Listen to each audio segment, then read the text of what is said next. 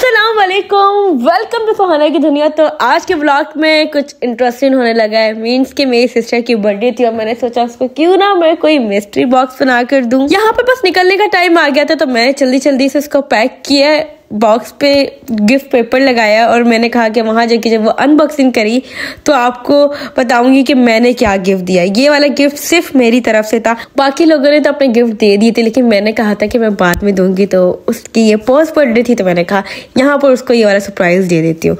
और यहाँ पे हम आ गए हैं और यहाँ पे पहले जल्दी से खाना को एंजॉय करते हैं।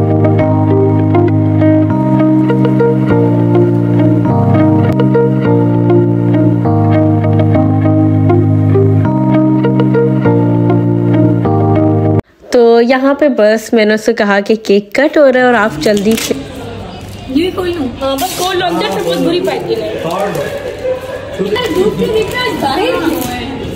और मैं बोलूँ अभी तो कमरा साफ़ पर अम्मी ने मुझे डांटा लेकिन मैंने इसका नाम लिया ना फिर अम्मी ने नहीं डांटा। वाकई में गिफ्ट है यार वाकई देखो।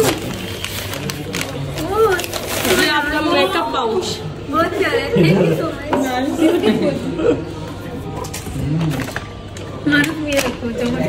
अब ये बड़ा वाला मानुस की हेल्प करवा यहाँ पर वो उसको खोल रही थी उसे खुशी हो रही थी कि एक गिफ्ट के बाद दूसरा गिफ्ट खेल रहा है तो वो तो खुश हुई मुझे ये अच्छा लगा। सो नाइस सो नाइस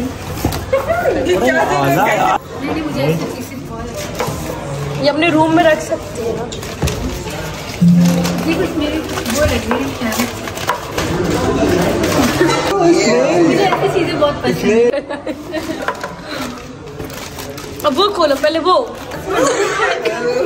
बस वो लाइन से खोलती जा रही थी और ये मैंने उसकी फेवरेट चीज़ दी थी फिर छोटा कैमरा अपने बैग में रख सकती है और हर मेमोरी को कैप्चर कर सकती है।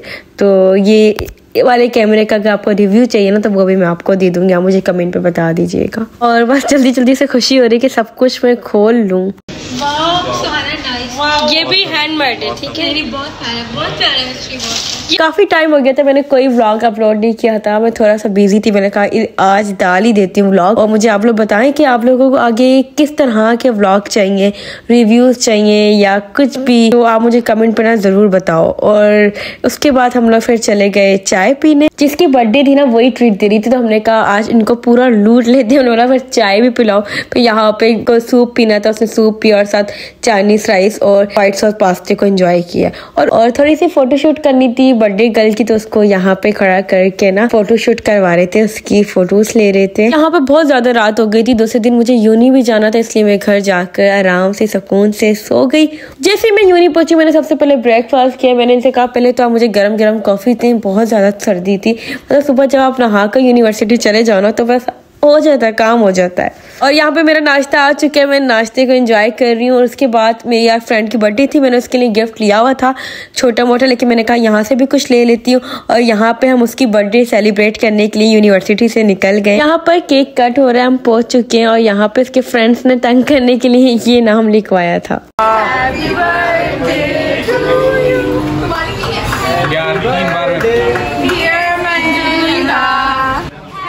यहाँ पे मैं हरमैन शरीफन आ गई थी तो यहाँ की हांडियाँ सुनने में आया था, बहुत मज़े की होती हैं। तो वो ट्राई की तो मैंने सोचा उसका क्यों ना आप लोगों को रिव्यू देती हूँ। अगर हम खाने की बात करें तो यहाँ पर हमने मखनी हांडी भी मंगवाई थी, चीज़ हांडी भी मंगवाई थी और काफ़ी सामान और भी आ रहा था।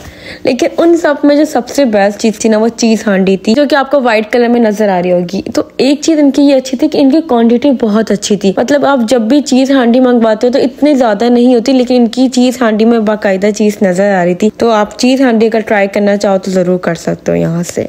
ब्लॉग अच्छा लगे तो लाइक करें सब्सक्राइब करें। अल्लाह हाफिज। Everybody's high.